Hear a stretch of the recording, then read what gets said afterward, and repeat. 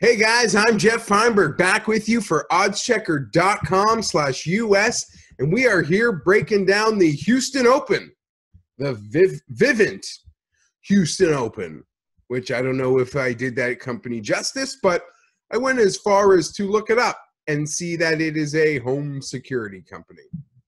Whatever. Uh, formerly the Shell Houston Open for many, many years. Last year, I believe it was just the Houston Open with some Houston Astros ties. Uh, we can get into that maybe more uh, in a moment. Not that anyone cares.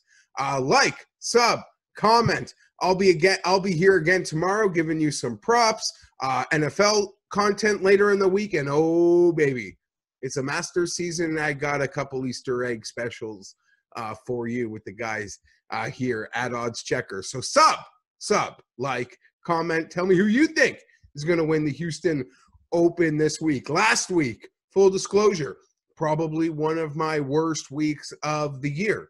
Um, there's a reason I think I tried to keep the units lower than normal.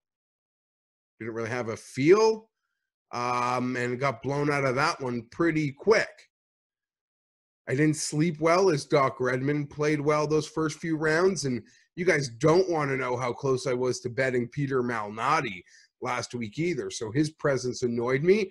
But in the end, it doesn't matter. We certainly weren't going to bet Brian Gay. So we move on. Um, what an amazing Brian Gay's a legend. You listen to my podcast regularly with the PME and golf season. I always use Gay as a reference point, like how all these guys are amazing and so cool. Even a guy like Brian Gay, who you probably couldn't remember the last time he won. He's had his PGA Tour card for 20 plus years. Makes you a legend in my book. Great to see. Uh, I don't know. Guy slays.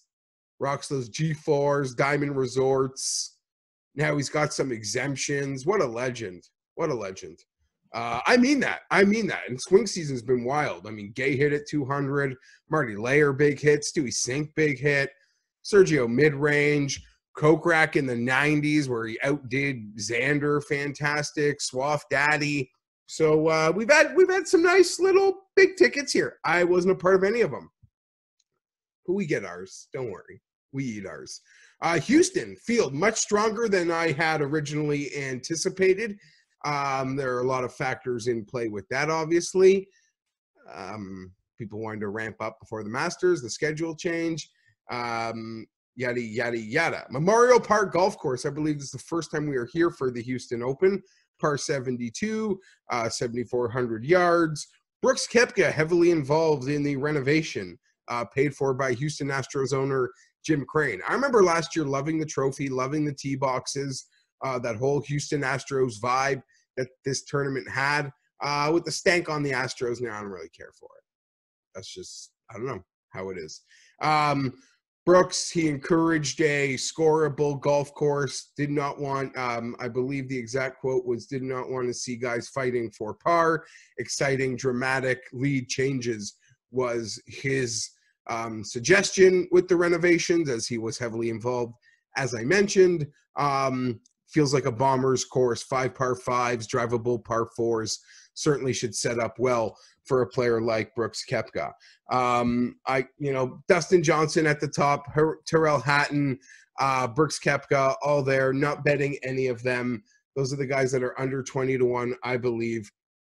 I'll say this about Brooks. I'm not betting him to win the Masters. I don't really care what happens this week. Pretty secure in my Masters positions. Um, but if you like Brooks, if you're leaning on Brooks, if you see any life this week, I think you got to bet that because the number will drop. The number will drop just based on Brooks Koepka showing life. If he shows life, shows health, shows that he's healthy, um, his number will drop for next week because he's Brooks Koepka. And major championship golf is so easy for him, apparently. That being said, this is a tournament next week where I feel like his whole shtick about like only 20, 30 guys can actually win these things, it's probably pretty true. It's not going to give him a hard time about that. Uh, let's get into it. Wow, didn't really need to ramp it up that bad, but I didn't think I'd have much to say, and I got a ton to say. Uh, so we'll see where we get it. I already told you, Memorial Golf Course, uh, Brooks Koepka Blah blah blah. Ah, week before major. I play armchair psychologist a lot every week. I feel the weeks before majors I do it more. I do it more. I feel like there's certain motivations at play and I'm trying to guess them. But I believe this card is very um guys that well, inexperienced don't win my young players. Young players. Okay, let's start it off. Um wow. This is where we're gonna start, but I gotta do it. Tony Finau. 22 to 1, guys. 22 to 1. Catch that over at FanDuel. There are 16 to 1s out there. I believe 22 to 1 on Tony Finau is incredibly fair number in this field. Um, I thought about betting Scotty Scheffler long and hard. I did. But at the same price, I wasn't betting him over Finau. I get all the reasons why people like Scheffler this week for the win, the Texas Longhorn. Um, a lot of it makes sense. I believe it makes just as much sense for Tony Finau. In his first start with Finau uh, off COVID, he had a Saturday lead at the Sherwood. He made a Saturday triple, which kind of catapulted him out of there. You could say peak Finau, but by every metric, this place sets up for Finau, guys. Um, strokes gain total, third. Strokes gain approach, third. Strokes gain around the green, fourth. Strokes gain tee to green, fourth. All recent form ranks the last eight events. So Tony plays. I mean, we get the median putter. We're going to be just fine. We avoid the catastrophic mistake. We're going to be just fine. We avoid the peak Finau moment. We're going to be just fine. I honestly didn't come into the week. I knew Tony would play well. I wasn't really planning on betting him, and I'll get into sort of why I betting him. It was my research on another player that led me to seeing how amazing Tony truly is playing and how much the course sets up for him. And he's uh, lost in a playoff on this Bermuda grass in Phoenix to Webb. He finished. He went. He was the Sunday favorite in the uh, Detroit before a major this year. Uh, the week before, I don't know. This guy's just got to win. I'm going with Tony Finau this week. I believe the number of 22 to one is actually incredibly um, fair for him versus this field um, despite the win equity. I'll go as far to say what win equity in the since you've since you have Tony Finau's been on your radar as a guy that might win golf tournaments. How should his win equity be any different than Hideki Matsuyama? I'm not saying you're looking to bet Matsuyama, but I'm just saying in this window, there's a lot of guys that just haven't won that you think should have. He's one of them. Think he can win this week. You know, I'm a Finau guy. You take that for what it's worth. You want to fade me? Play Scheffler. I'm taking Finau. Um, it is though Viktor Hovland at 30 to 1 over on FanDuel. I'm seeing 20s out there, guys. I'm seeing 20s. We're playing that Viktor at 30 uh, on FanDuel. Best odds available using that odds checker grid. I'll be perfectly honest. There's a flip the page on my notes. Okay. Top line there. Puerto Rico Open special. I don't see a correlation, but anytime I got Viktor and Finau on the same card, we got to bank on that Puerto Rico Open curse ending. Please. Um, Hovland 30 to 1, best number. We'll avoid those 20s. Call me a cocky SOB, guys. But the second he tweet, he doesn't tweet, he doesn't have a Twitter. The second the Houston Open's official account tweeted that BDV was showing up in Houston this week, call me a cocky SOB, but I knew I was going to bet him because I think he's going to win and a lot of the numbers support it. Um, and truth be told, while searching Viktor's numbers just to make myself feel right, my cocky thought was uh, what popped for Finau. Everywhere I saw Viktor's stats popping in in recent form metrics, Finau was coming in just ahead, just ahead. So um, that's what's sort of like, whoa, I gotta I gotta circle back to Tony and relook at that, and the stats actually do match up with my perception. Viktor, um, yeah, we said it. You call me cocky. Uh, since since he tweeted his commitment, I'm committed to betting him in this event. I'm happy to score the 30 to one. Um, recent form versus the field is comparable to how great a lot of those stats were that I mentioned um, versus Finau uh, previously. Again, I believe Vic is prime for this setup this week. Like Tony, we're gonna need the putter, but keys for Tony and Viktor are how well they're playing around the greens. Around the greens, they're playing well. Um, so I like that. I like Vic a lot this week. A lot. Leave it at that. 30 to 1. I'm in. Uh, keep moving along. 30 to 1. Another player I debated against Scotty Scheffler.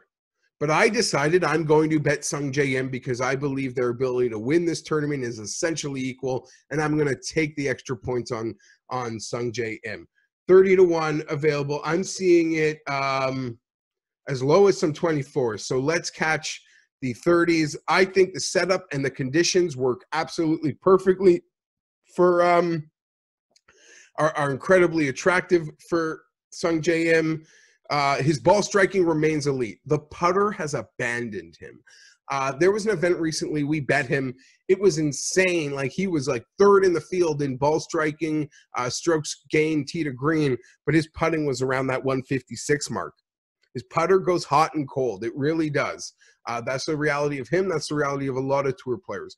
But the Bermuda grass greens are his sweet spot. This is where I believe we can match the ball striking with the putting. I think the price is fair for this field, for this event. Um, Windy Houston with Bermuda greens, I believe, sets up very well uh, for Sungjae Im. I was there in person at the Honda where he conquered Windy Bermuda greens um, at the Honda Classic this year in Palm Beach PGA National.